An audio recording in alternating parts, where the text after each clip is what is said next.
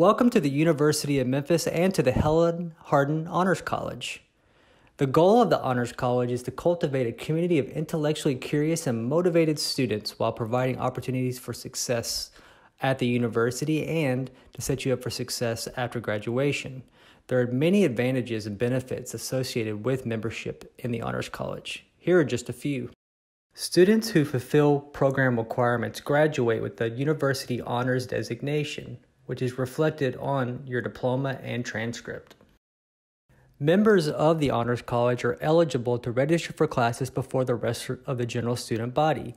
This means that honor students are more likely to get the classes they want at the times they want. Members of the Honors College can fulfill service hours required by some U of M scholarships through honors courses and activities. Honors students enjoy extended library borrowing privileges.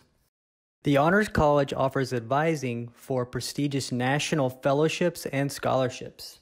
Freshman and sophomore honors students may live in honors housing in the Living Learning Complex. The Honors College leads an annual Spring Study Abroad tour. Honors students may take advantage of the many amenities in Honors Hall. These include an Honors Student Lounge, a meeting room adjacent to the Student Lounge, and a computer lab located on the ground floor of Honors Hall.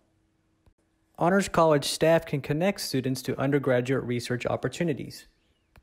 Students who participate in undergraduate research have the opportunity for conference travel.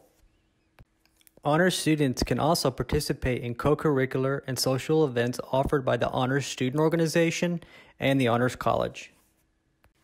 The Honors College staff is always happy to help students in participating in any of these opportunities that we've mentioned so far.